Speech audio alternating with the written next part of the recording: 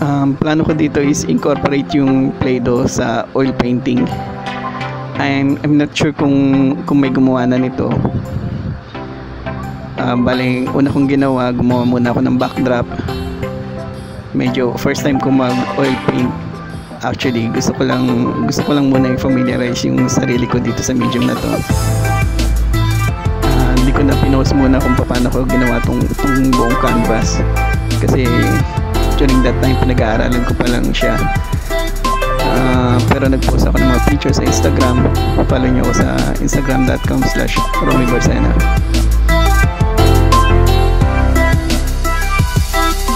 kaya ako naisip na incorporate ang Play-Doh sa oil painting eh, para baka sakali na makadagdag siya ng volume doon sa subject. Kasi may kamahalan ng oil paint.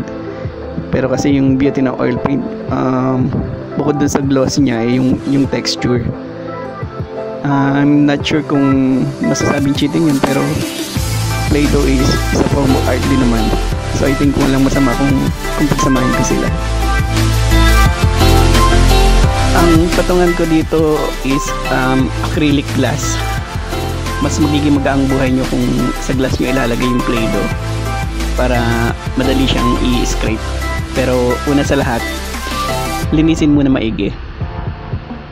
Ang plano kong subject ay isang malaking sunflower. Bali, tumingin lang ako sa Google kung anong itsura ng sunflower pero wala akong wala akong balak na kopyahin siya in, in full detail. Kagandahan kasi sa form of art na to, um, hindi mo kailangan kopyahin ng perfect detail yung object. Mas ma-appreciate ng mga tao yung artist rendition nung subject. As I'm doing this now, wala pa akong idea kung kung paano ko gagawin yung sunflower sa Play-Doh. Uh, sa ngayon, gamitin ko lang muna imagination ko as I go along.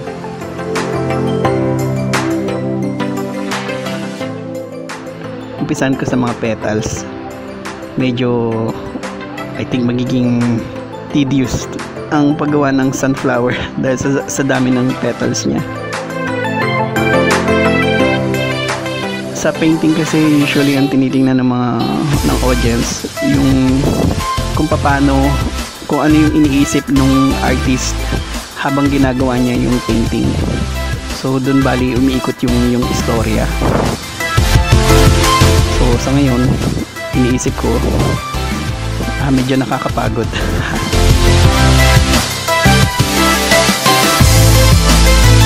wala pa akong idea kung paano ko gagawin ang lahat ng petals ng maganda at tsaka madali. Wala pa akong na system. Medyo pinag-aaralan ko pa lang kung kung paano. So experiment lang muna lahat. Tingnan natin kung anong kalalabasan. Ang importante importante sa art yung yung na-enjoy mo kung anong, kung anong ginagawa mo. So kakapagod pero enjoy lang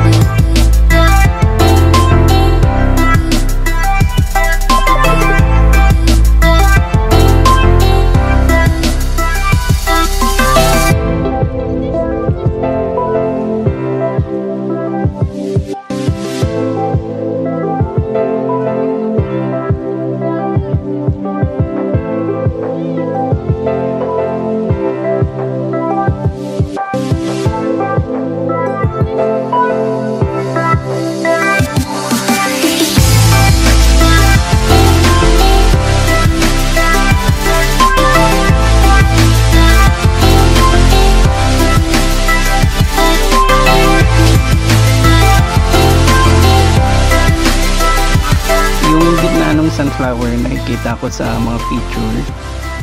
Iba-iba eh. Iba rin yung nakita ko in person pero subukan ko yung isang nakita ko sa google. Medyo interesting yung itsura niya.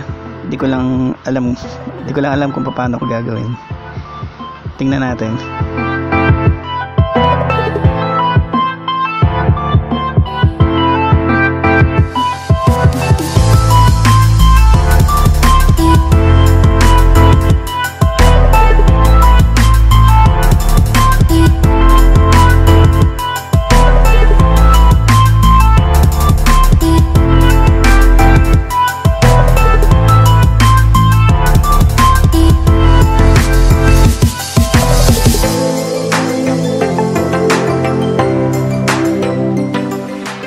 isa sa pinakamasayang part ng pag-sculpture, yung detailing. Pero sa gagawin kong to, sa project na to, um, I think hindi kailangan na masyadong detail kasi ang idea is itong sculpture na to papatungan pa to ng oil paint.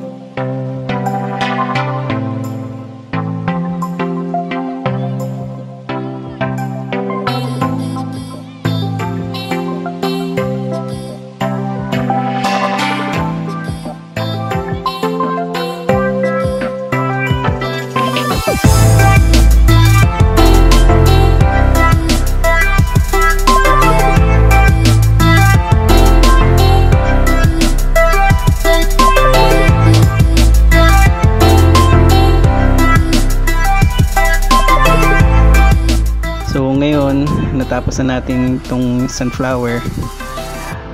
Kaya lang kaya lang mukha siyang boring as is. Ang gagawin natin I think lagyan natin siya ng movement. So assume natin na yung yung ihip ng hangin nagagaling sa kanan. Kaya i-fold ko yung ibang petals this way. Ah, mas ma-action, mas maganda. Kakatakot lang kasi mukhang mas mahirap itong i-paint.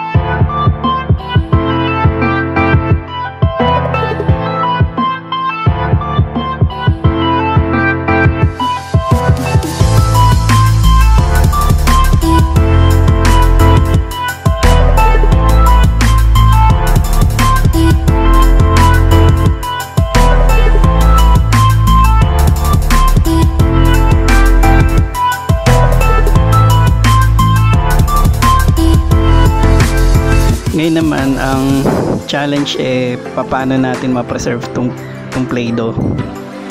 Ah, sa totoo lang, di ko pa sure kung paano. Pero may naisip, may naisip ako na, na gusto kong subukan. Try ko gamitin tong patching compound. Ah, I suppose this will give strength dito sa Play-Doh natin. Tapos, ah, haluan ko nitong water-based paint para para madali siyang ipahid so yan yung susunod kong video. Experiment natin kung tatagal ba buhay ng Play-Doh gamit ang pinaghalong patching compound at water-based paint. Subscribe na lang kayo para sa update. Thank you for watching and watch out para sa part 2